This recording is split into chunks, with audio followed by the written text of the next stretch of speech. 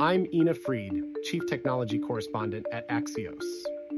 For my latest prompt review, I am taking a look at HeyGen, a new video service that uses AI to help create automated videos. Except I never said any of that. That was all AI at work. What I did was I sent HeyGen a two minute video of me talking about anything, in my case I chose Lego, and they created an avatar that then I can use to say any words I type, like the intro I just did.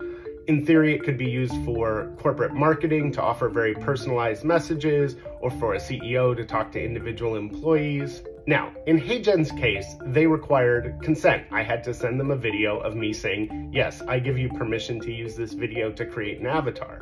However, I expect other companies won't be so ethical, and really the era of deepfakes is upon us. As you see, you can make anyone say anything with the power of AI. For Axios, I'm Ina Fried. Or am I?